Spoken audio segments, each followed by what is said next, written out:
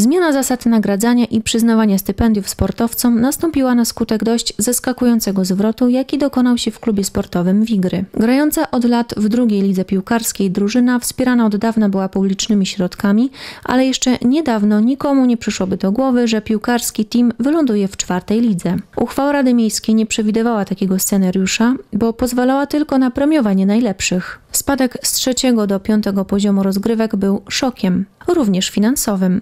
Klub zakończył miniony rok stratą 800 tysięcy złotych, choć z ratusza pieniądze płynęły. Teraz, by nadal wspierać już czwartoligową drużynę, należało zmienić miejscowe prawo. Co doprowadziło do krachu w klubie, jakie sposoby na naprawę sytuacji widzi zarząd spółki, starał się wyjaśnić radnym wiceprezes Kamil Jutkiewicz.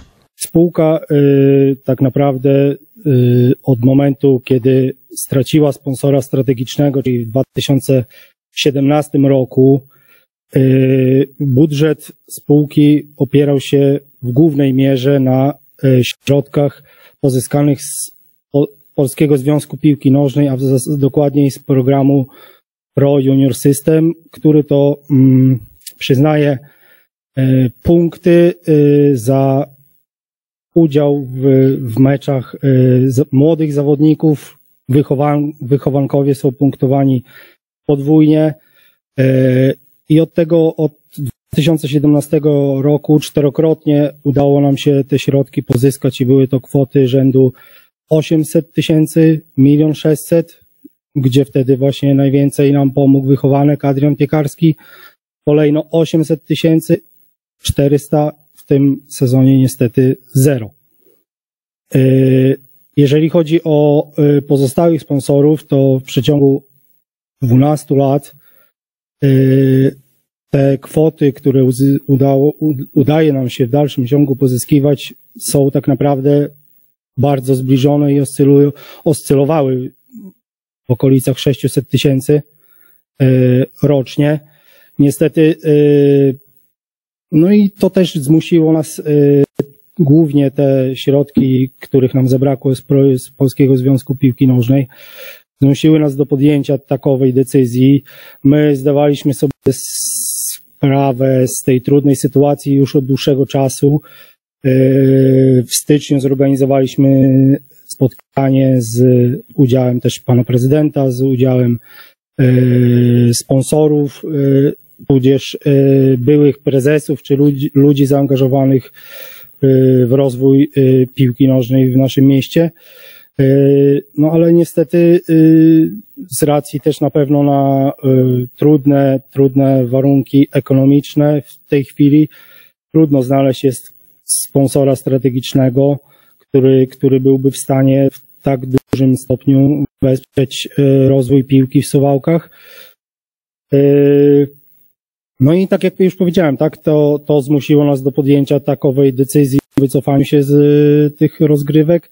Niemniej jednak y, po dwóch tych, trzech tygodniach, trzech w zasadzie od działania, podjęcia y, działań, budowania tej drużyny na nowo do przystąpienia do rozgrywek czwartej ligi, to też nie jest takie proste i, i bez wsparcia no, samorządu nie, nie jesteśmy też w stanie yy, jakby skleić tej drużyny nawet na czwartą ligę. By ratować finanse spółki, okrojono wydatki. Zwolniono kilka osób i zamknięto jedną z trybun, bo to generowało duże koszty ochrony. Wskazał też, że z wynagrodzeń zrezygnował zarząd klubu i rada nadzorcza, ale nie dowiedzieliśmy się, kiedy to nastąpiło.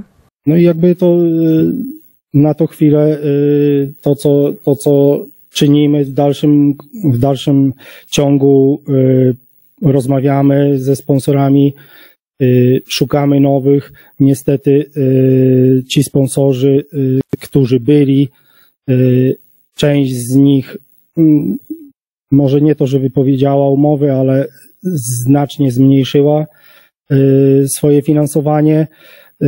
Tutaj mieliśmy sponsora głównego Browar Północny, który już w zasadzie w zeszłym roku zapowiedział, że bez względu na to, czy my awansujemy do pierwszej ligi, czy też nie, czy, czy tak jak teraz czwartej, to że nie będzie y, kontynuował już współpracy. Y, to też jest dla nas strata. Y, No i jakby wracając jeszcze do, na początek troszeczkę, przepraszam, cofnę. Y, Cel, jaki był założony po spadku z pierwszej ligi, mm, tak jak już mówiliśmy wcześniej, na spotkaniu właśnie z przedstawicielami klubów, celem był powrót do pierwszej ligi po w ciągu dwóch lat, tak? I y, jeżeli udało nam się awansować, są to środki rzędu od sponsora tytularnego ligi oraz, y, oraz y, Bookmachera y, około 700 tysięcy. I to myślę, że udałoby nam się to drużynę, y, którą mieliśmy na wiosnę, y, utrzymać. Ten cel niestety też nie został osiągnięty, i, ale to tylko, to tylko gdzieś tam wynikający ze, po prostu z wyniku sportowego. Wielu kibiców, sympatyków i mieszkańców wyrażało swoje niezadowolenie, że w drużynie nie ma miejscowej piłkarskiej młodzieży, której koszty utrzymania byłyby niższe niż zawodników kupowanych do klubu. padały wcześniej tematy wychowanków, dlaczego mało grają albo wcale. No, mm, proszę Państwa, w tej, teraz w ciągu ostatnich trzech tygodni trzech naszych chłopców e, z rocznika 2006 zmienia przynależność klubową E, i jeden chłopak idzie do ekstraklasowej Warty Poznań, ale no wiadomo, że tam będzie też w juniorach. E, Drugi do Polonii Warszawa i trzeci do AZS-u Biała Podlaska.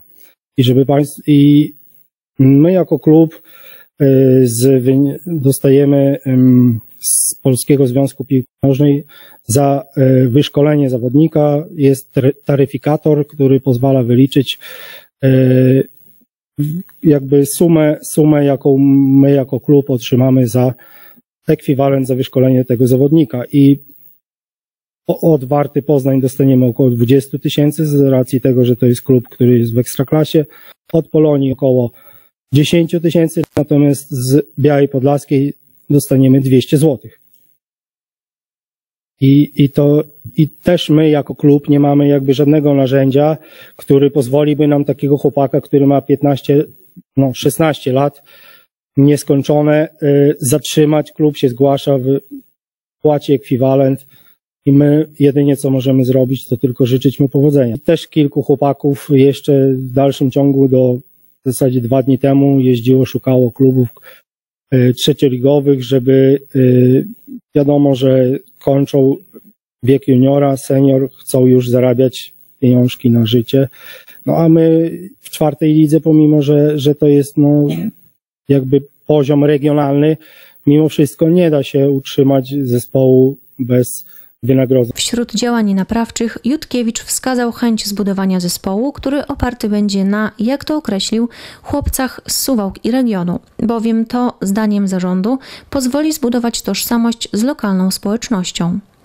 Drużyna, jak powiedział wiceprezes, chce powalczyć o miejsce w pierwszej trójce czwartoligowej tabeli. Wszystkie okoliczności składają się na to, że wniosek może być tylko jeden. Wyjście z przepaści, do jakiej wpadł suwalski klub, to zadanie dla Herosa. Tego jednak nie ma. Klub nie ma prezesa i co gorsza, nie ma chętnego, by nim zostać, bo odpowiedzialność będzie olbrzymia. Z tej doskonale zdaje sobie sprawę prezydent Czesław Rękiewicz. Przygotowany zosta, został projekt uchwały, który tak naprawdę jest bardzo kontrowersyjnym działaniem samorządu w zakresie finansowania środkami publicznymi określonych y, zespołów, tutaj y, mowa o zespole y, Wigier Suwałki, na bardzo niskim poziomie rozgrywek. Dyskusja, która była przeprowadzona tutaj y, 1 lipca z szefami ugrupowań, przyniosła takie rozwiązanie, że opracowaliśmy projekt uchwały. Ten projekt uchwały był poddany konsultacjom, czyli Rada e, Sportu pochyliła się nad nim. Ja nie brałem udziału, ale y, sporo radnych wzięło udział wiemy, że była burzliwa dyskusja na ten temat. Nawet y, ci, którzy krytykowali ten projekt, no, czy zabrakło odwagi, czy coś, ale woleli wstrzymać się, niż zaprezentować inne stanowisko. I Rada Sportu zaopiniowała pozytywnie, przy głosach również przeciwnych. Rada Pożytku Publicznego też za, zaopiniowała ten projekt pozytywnie. Takie są fakty, takie są fakty. Ale te stypendia e, szczególne, które chcemy dzisiaj e, w wyniku tej uchwały przekazywać dla e, czwartego, piątego poziomu rozgrywek, są ewenementem w skali kraju. Kwota, która się wtedy pojawiła na spotkaniu 1 lipca, też moja propozycja była wstępna taka, żeby miasto finansowało wynagrodzenia zawodników, natomiast yy, wynagrodzenia trenerów i cała reszta klub pozyskuje środki finansowe. Nie było tutaj konsensusu. W końcu pojawiła się ta kwota, że to około miliona złotych, tyle miasto może przeznaczyć na ratowanie tego klubu. Sytuacja, która jest w tym klubie, no nie jest sytuacją finansowo dobrą. Wiemy, że za ubiegły rok jest poniesiona strata ponad 800 tysięcy złotych. To jest wysoka strata. Można powiedzieć, że klub, spółka zagrała w bank. Zagrała doświadczonymi zawodnikami, mając ten główny cel awans do pierwszej ligi, tam będą większe środki. Nie graliśmy młodzieżą, wobec tego z Pro Juniora i tak byśmy dostali mniej ewentualnie, bo to druga liga, mniej PZPN płaci, ale nie graliśmy celowo, bo młodzież wiadomo, nie jest w stanie walczyć nam awansu. Starzy, zakontraktowani zawodnicy też tego awansu nam nie zagwarantowali. Ten projekt uchwały, który jest przedmiotem obrad dzisiejszej Rady Miejskiej, został przygotowany. Wzbudza on olbrzymie kontrowersje również w środowisku sportowym naszego miasta. Ja y, powiedziałem wtedy na spotkaniu i powtórzę to jeszcze raz. Ja decyzję Rady Miejskiej wykonam. Ale Rada Miejska niech podejmie tą decyzję odpowiedzialnie. E, I szanowni Państwo, moim zdaniem miasto nie powinno przejąć odpowiedzialności za ten klub od początku do końca, a przede wszystkim być głównym finansującym działalność tego klubu. Nie wiem, czy Wysoka Rada zgadza się ze mną, czy nie, ale nie powinniśmy wchodzić na pozycję lidera prowadzącego klub, prowadzącego spółkę i finansującego. To jest klub sportowy. Nie jest zadaniem, rolą samorządu prowadzenie klubów sportowych. Wspomaganie, finansowanie. Dzisiaj mamy 200, 200 akcji na 1080 akcji w tej spółce akcyjnej. Nie jesteśmy dominującym akcjonariuszem. I nie powinniśmy również dominować w sensie finansowania tej spółki. A takie rozwiązanie idzie właśnie w tym kierunku. Zorientowaliśmy się, jak inne samorządy finansują sport i nie tylko piłkę nożną. To różna jest filozofia, różne jest podejście. Jedne samorządy wspierają bardzo mocno, ale my we wsparciu e, piłki nożnej i piłki siatkowej i badmintona pewnie też, są te trzy dyscypliny wiodące, jesteśmy w top lidze w kraju.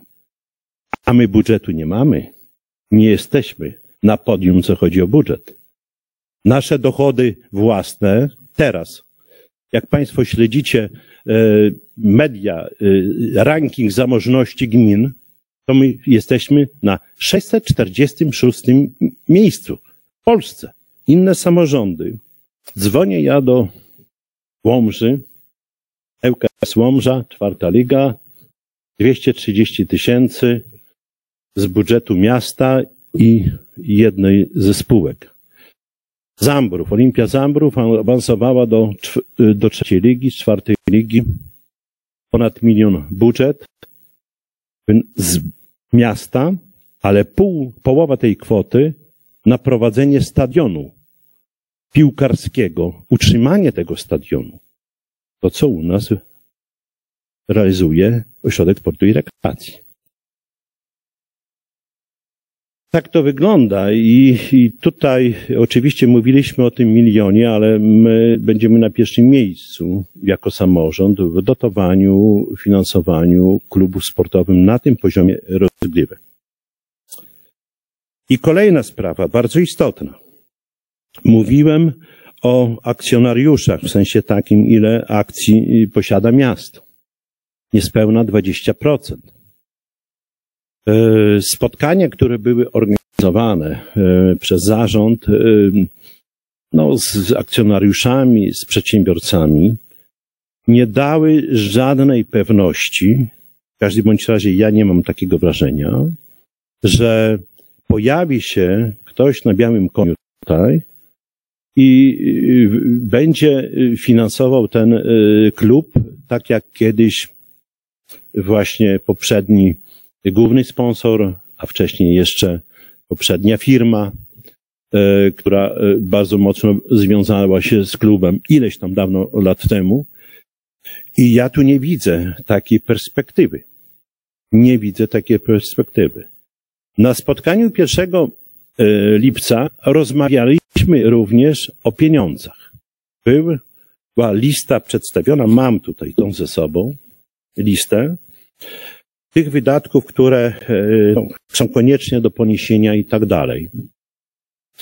Ale ja uważam, że teraz, w tej sytuacji, powinna być e, podjęta praca zarządu, co za pośrednictwem swojego przedstawiciela w Radzie Nadzorczej wnosiłem, opracowanie pro programu restrukturyzacji i naprawy spółki, bo spółka ma wysoką stratę i również ustalenia celów sobie sportowych. Na najbliższy musi być stworzony dokument, który będzie przedstawiał nam również, jako miastu, które chce finansować, który ten klub chce wspierać, jaki jest plan na prowadzenie klubu i tej spółki. Bez tego planu naprawczego, restrukturyzacyjnego, trudno tutaj mi będzie podpisywać się pod jakimkolwiek przelewem do klubu. Druga sprawa. Firma musi mieć szefa, prezesa, zarządu. To tak jakby prezydenta nie było, wiceprezydenci byli.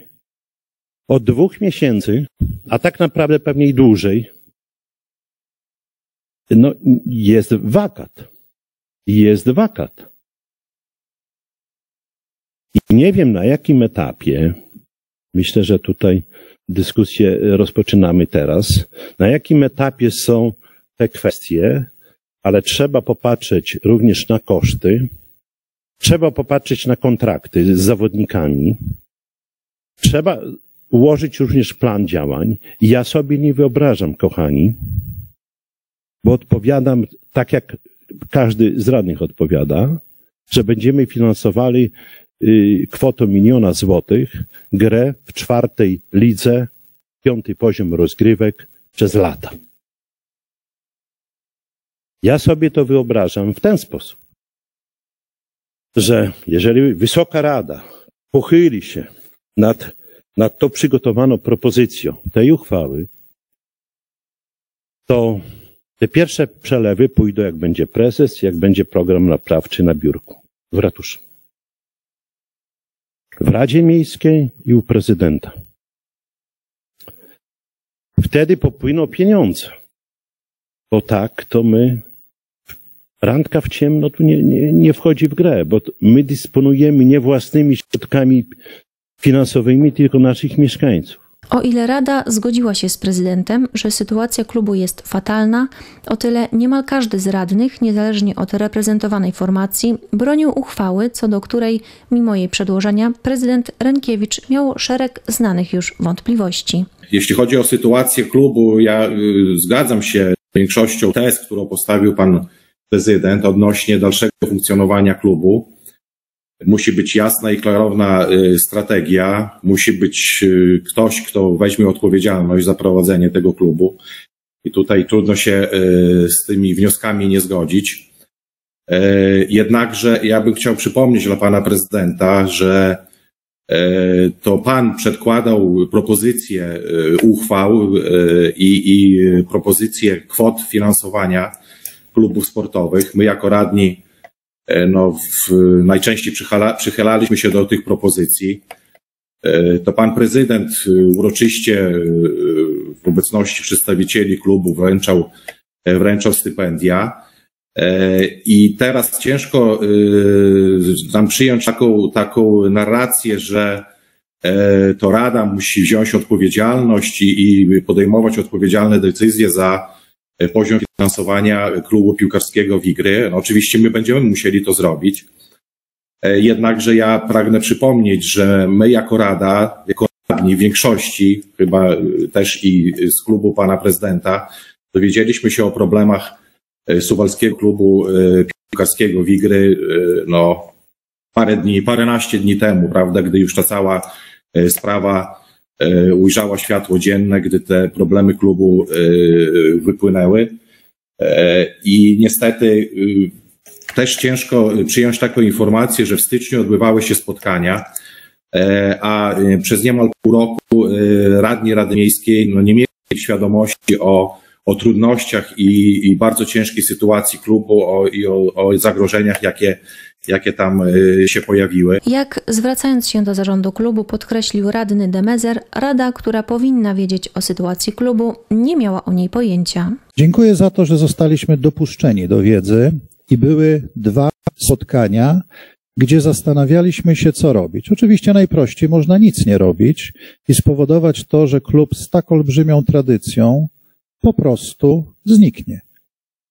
Zastanawialiśmy się, jakie są formuły działania. Może pan prezydent nie do końca wprowadził, ale na jednym z tych spotkań szukaliśmy najróżniejszych możliwości finansowania klubu.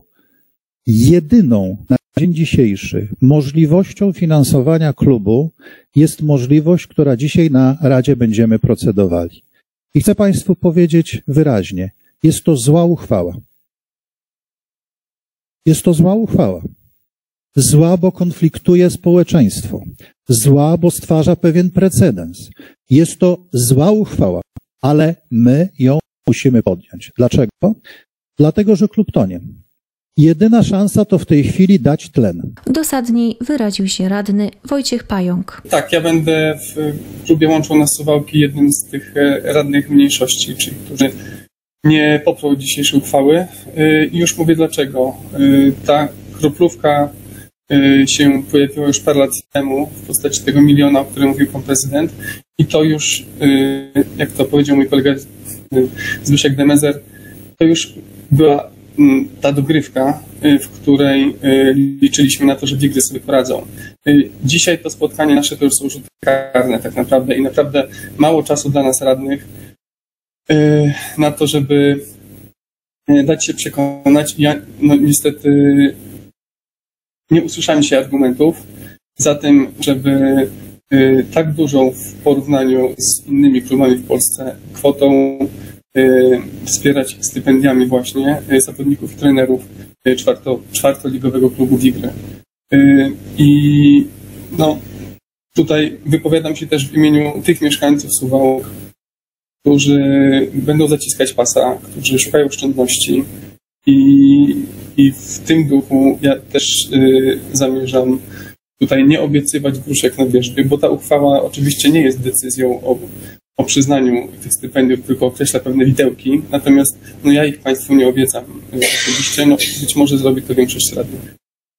Yy, także yy, trzymając kciuki nadal za Wigry, yy, ja dziś w takim poczuciu odpowiedzialności za, za wszystkich mieszkańców uważam, że o te pół miliona ta dotacja powinna być niższa. Czyli byłbym skłonny oczywiście wspierać kwotą podobną jak Łomża czy, czy inne miasta klub, natomiast nie w tej kwocie, która dziś jest proponowana. Dziękuję. Decyzją 17 radnych za, jednym przeciw, przy trzech wstrzymujących się od głosu i dwóch osobach, które nie wzięły udziału w głosowaniu, Rada ten respirator Wigrom podłączyła. Popołudniowy mecz Wigier z drugoligowcem z Kalisza skończył się klęską Suwałczan 0 do 4.